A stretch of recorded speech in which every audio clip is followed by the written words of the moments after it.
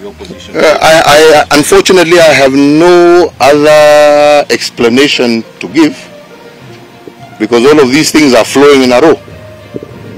I have uh, a whole minister of government staying there that is going to do I don't know what in front of my mother's house. I have uh, people who have been guarding my mother for the last almost 50 years withdrawn at night